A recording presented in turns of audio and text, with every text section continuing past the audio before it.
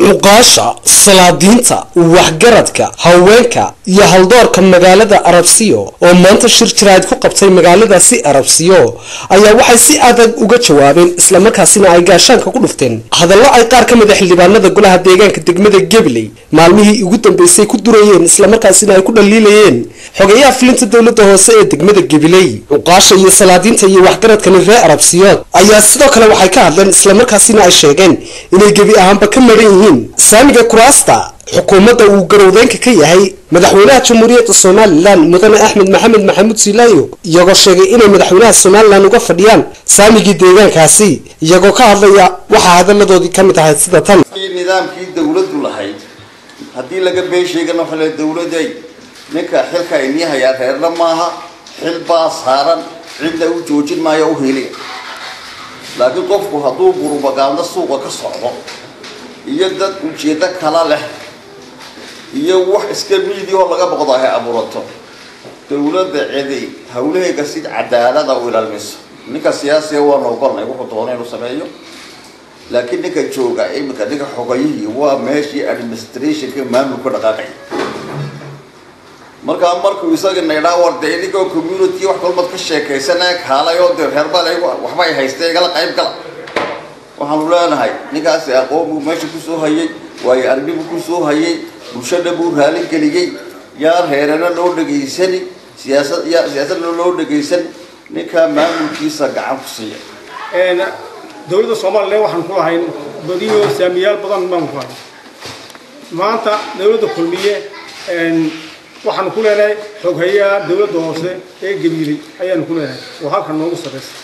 taa kolley annaga wax tirsanayno talow xaggee laydinka maray ama maxaa laydin ku hadlaynayaa ama maxaa laydinka hadli waaye ama maa laydin arki waaye ama se maas saami baan meesha idiin olli annagoo isdahayn haddana waxaan oranay xoogaheyihii oo lagu haysto reer ahaan lagu haysto ama baryahan dambeba miidiyaha la dhex warfinayay oo ku saabsanayd xogeyaha dowladda hoose ee arab degmada gabiley sida guud ahaan beeshan degan deegaankan arabsiyo waxay ka mid tahay beelaha ka qatan guud ahaanba maamulka madaxweyne axmed maxamed silaayo heerarkiisa kala duwan. Waxaanay ka mid ahayd beeraha ugu mansabyada badan leh dowladdii dowladdan ka horraysay waxbaanu doonaynaa ama waxaasaa naga dhimanna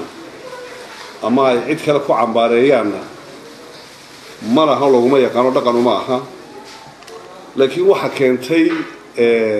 in maanta halkan ay cuqaasha iyo beesha odayaasheeda iyo aqoon-yahankeeda isugu yimaadaan.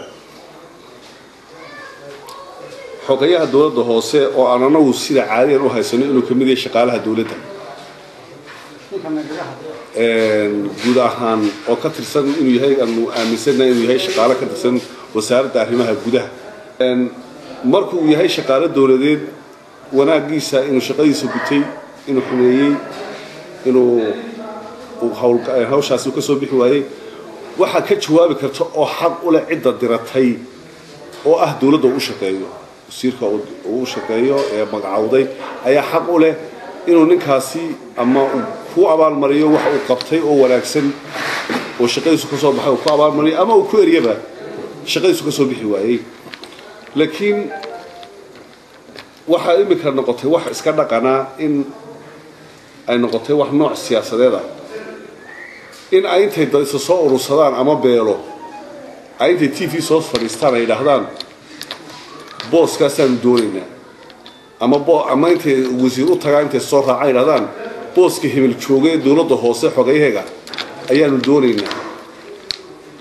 Ama qaalo qolal kaleba la soo diro la yidhaahdo booskaas ayaanu doonaynaa ka hadla idinku.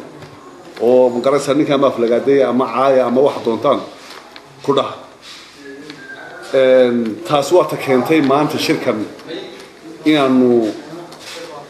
aanu aanu jawaab ku filan ka bixinno annagu imaanshihiisa iyo tegitaankiisa waa annaga hore u sheegay dowladda diratay ayay u taallaa oo tahay laakiin haddii beelnimo loogu soo guurayo oo beelnimo loogu soo guurayo oo beelnimo inta meesha lasu soo loogu soo guurayo waxaan leenahay ninkani beel buu ka dhashay ti oonu kolka horeba wax tabanayno oonu leenahay waxba kuma lihidina dawladda agaasime ma lihidina wasiirna hadalkiisa daa xildhibaan kuma xildhibaan baarlamaanka ama lihidina تينان قف كهرباء وحلا وحن لين يعني تبين ونام وحبا. حتى حس قلفتي سأنان كل هاي نين وحبا. أن كل كهرباء سلوكتمين حبدي كلي هيدا ماشي لو ترتي هدي ميكروفون إنت لو قعدتي ليلي والله حبدا أنا وما قلمان آد يا آد بان الله hasi kastaba haatee waxaa maalmihii ugu dambeeyey soo ifbaxayey eedeymo ay qaar ka mid a xildhibaanada golaha deegaanka degmada gebeli iyo weliba siyaasiyiinta iyo qaar ka mida bulshadu ay u jeedinayeen xogeeyaha fulinta dowladda hoose. Halka qaarkoodna ay jawaabo kulul ay ku difaacayeen xogeeyaha fulinta dowladda hoose cabdiraxmaan nuur abakor ilaa iyo haddana lama garan karo halka ay ku biyo shuban doonto arrintaasi. Waa maxamed xasan sheekh maxamed jubba